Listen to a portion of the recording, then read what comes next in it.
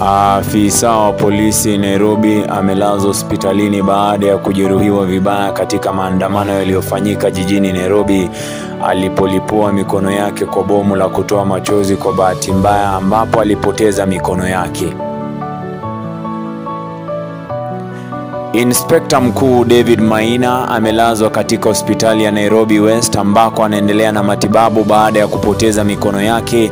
Afisa huyo wa afisa huyo wa RDU alikuwa akikabiliana na waandamanaji wa kupiga Afisa huyo wa RDU alikuwa anakabiliana na waandamanaji wa kupinga mswada wa fedha katika wa kupinga mswada wa fedha katikati mwa jiji la Nairobi alipolipua mikono yake kwa bahati mbaya. Aidha, baadhi ya Wakenya walifurika barabarani wakielekea katika bunge la kitaifa kute...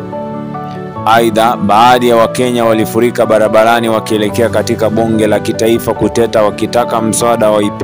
wakitaka wabunge waipitishe mswada wa fedha wakitaka wabunge wasipitishe mswada wa fedha wa mwaka 2024. Tusaidiane ku tusaidiane kubadilisha maisha ya wengi. Hii ni Sauti ya Dhahabu, sauti yenye uhondo, burudani siku zote.